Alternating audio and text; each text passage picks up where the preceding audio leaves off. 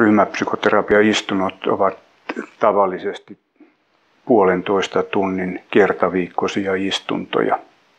Niissä ryhmän jäsenet puhuvat mielessään liikkuvista asioista ja muut kommentoivat ja assosioivat tähän.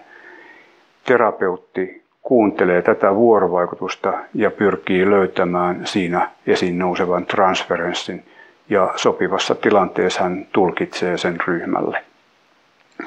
Tällä tavalla kun toimitaan, niin ryhmän jäsenet alkavat nähdä erilaisia tapoja olla suhteessa muihin ihmisiin ja he näkevät myös erilaisia ratkaisumahdollisuuksia ihmissuhdeongelmiin.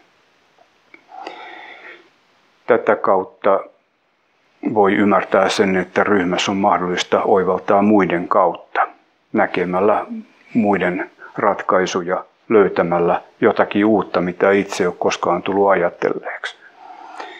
Tässä prosessissa käy usein niin, että kun tämä ryhmä, ryhmää mm, kohdistuva luottamus lisääntyy, niin ryhmän jäsenet alkavat samaistua toisiinsa ja ryhmän terapeuttiin.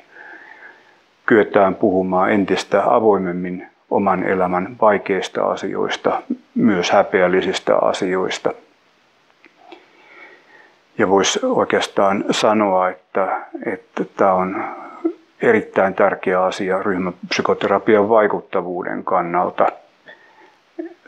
tulla siis tunnistetuksi oikeana itsenä ryhmässä ja sellaisena hyväksytyksi.